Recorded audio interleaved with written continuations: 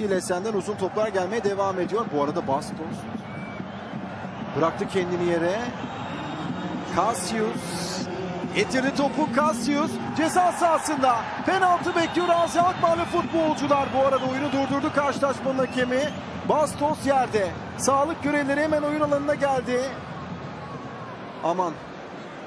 Aman Bastos. Yürekler ağza geldi. Hemen ST isteniyor. Sağlık görevlileri oyun alanına geliyor.